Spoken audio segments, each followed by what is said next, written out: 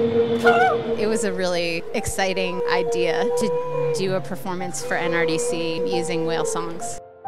Moonbird is an endangered species threatened by climate change, and I chose to draw the continents the bird migrates past, marking his 350,000 mile journey.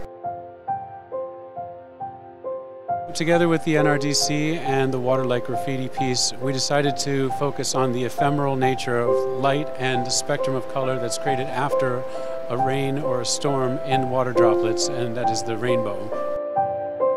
Action across the globe is necessary to protect our homes, our communities, our neighborhoods, and our interests of our citizens. We welcome membership. It provides us with the power of people to make the case for the protection of endangered species and the restoration of the health and welfare of our cities and citizens.